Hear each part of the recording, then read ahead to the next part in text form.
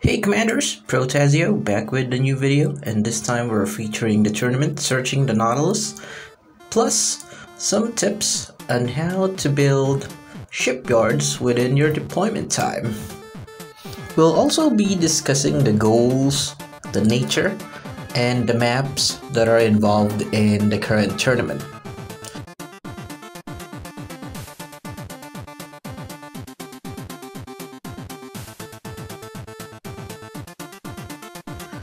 So here's a description of the tournament from the game itself. How do you win? So you capture 10 control points in the sea, just like this. And then another way is to destroy the enemy base. So what is the nature of this tournament? So it's mainly to be naval battles. So what it's to look like is to be like this. You're mainly going to see caimans, deltas, alligators, vikings, barracudas, and poseidons. You're also going to see a ton of naval defenses, naval platforms, and torpedo platforms. You're also going to see air support units such as Hawks, Vertex, Dragonfly, Cyclones, and in extreme situations, bombers such as the Albatross and Thors. Next up would be the map, so we have Thunderhead, Fishing Hole, and Cross Lake. So in Thunderhead, this would be your spawning points. And here's the one for Fishing Hole. Last but not the least, Cross Lake. Uh, next up, we'll talk about how to build naval shipyards during your deployment time. So uh, there are a few requirements and things to consider in order to pull this off, so let's talk about the requirements. You must have 50 seconds or more deployment time in order to pull this off. Additionally, it takes about 3-4 seconds for each building to complete within your deployment time. After that, we'll be talking about the build order, so we start off with one construction yard, then a power supply, a supply center, one to two barracks, assault vehicle factory, and then upgrade our HQ to level 2. In terms of upgrades, we also have to consider energy cost, resource cost, construction speed, and your deployment range. So let's try to break down the energy cost. So it takes about 40 power for a construction yard, 10 power for a barracks, and 40 power for a supply center. 15 and 20 for the assault vehicle factory, and 30 and 40 for the naval shipyard, a total of 135 for resistance and 150 for confederation.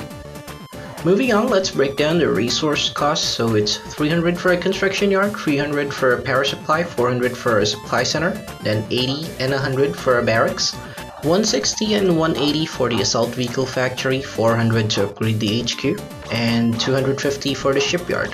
That's gonna be a total of 1,810 for resistance and 1,850 for confederation. Next up would be skill cards. So these are the four skill cards that you'll be looking out for. So we got deployment speed, deployment duration, construction speed, and starting resources. The blue ones should be at least level 4, but the higher the better. For upgrades, uh, let's take a look first at the HQ. So the power, deployment time, starting resources, and the visual range must be maxed at rank 18. For the construction yard, the construction speed, construction cells must be maxed at rank 18. Next is the power plant, must also have max power supply. Lastly, we'll talk about the order of action. Start with a construction yard, then turn on blue emergency measures, build a supply center, and build a power plant. Upgrade your HQ to level 2 turn on gold construction boost, build a barracks, then build an assault vehicle factory. Some of the steps can be intertwined or interchanged. It depends on how you'll be able to pull it off. So don't be afraid to experiment and see what works for you. Alright, it's time for the battle replay. So it's gonna be myself against boonboon from Marine's Finest. So we'll be fighting in the Thunderhead map. So I start off with a construction yard, turn on blue emergency measures, put down a supply center, a power plant, two barracks, then upgraded my HQ to level 2, turned on gold construction, and then put down an assault vehicle factory. I produced a couple of them to collect containers.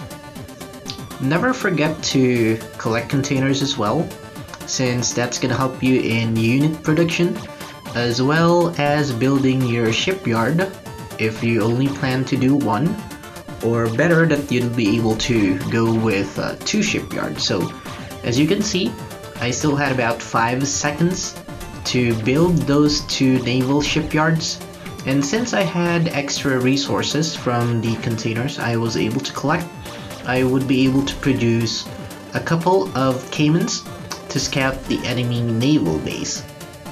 So I still continue to collect containers in order to aid in base development as well since I'm currently uh, only on one supply center. Too bad that the enemy got that one. So a couple of Caimans now approaching the enemy base and as you can see he's only starting to build two shipyards. He also puts down a couple of administrative buildings, I believe those were two supply centers. So he's gonna be halted in putting down a torpedo platform. So what he does is he proceeds to produce deltas to fend off my Caimans. So now we can see that he's put down his torpedo platform and thinking in advance that the Caiman Rush would fail, I went ahead and upgraded one of the shipyards to level 2 so I'd have access to alligators.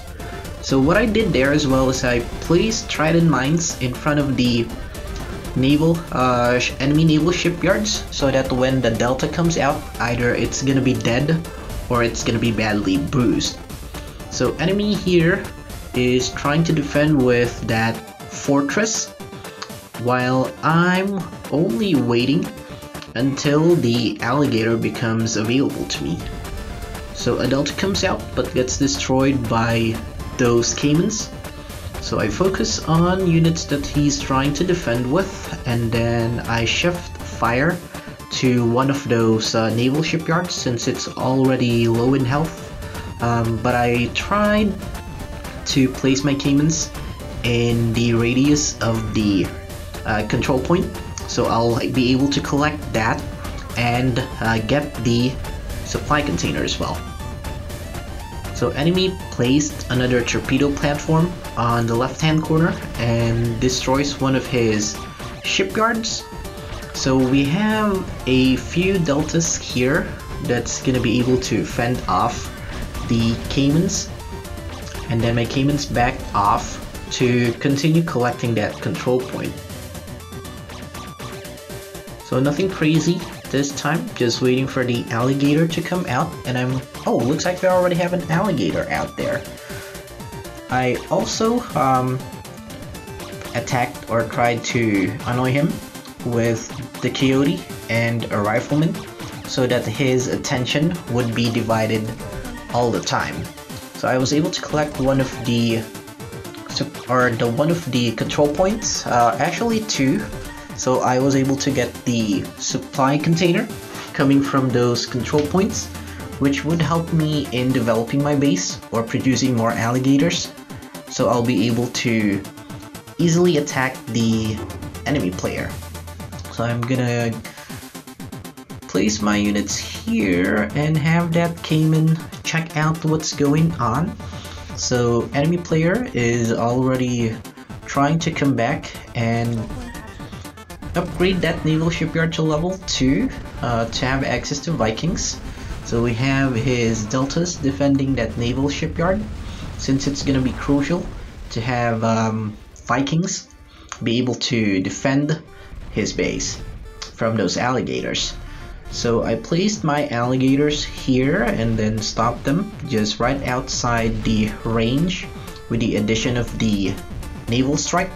Uh, this boost is gonna change in the future update so instead of adding plus 3 range to naval units what it's gonna do is it's gonna add 30% movement speed, uh, some vision and um, adds or uh, lessens the time that uh, you're gonna need to collect containers. So alligators navigating to the right side to deal some damage. And as you can see, my vase is also uh, pretty well developed now. Um, I'm also able to get up to HQ3 and control most of the um, naval map. So Delta's gonna come here to be, uh, or gonna try to be heroic and defend against those alligators. So alligators here uh, will destroy those Deltas and will continue attacking the enemy base. So HQ is almost down, we see a hammer, but I don't think that's gonna be able to do anything at all. So torpedo platform focuses on my alligator. So what I did is I halted the movement of my Caimans so that the torpedo platform attacks them. So that's a trick that you can do to have um, enemy defenses target uh, less important units than the ones that are able to uh, deal tons of damage. So that seals the deal and the enemy presses the self-destruction button. So that's gonna be a victory for us. Congratulations on making it to the end of the video. I hope you liked it. And if you did, hit that like button and subscribe to my channel for more Art of War 3 content.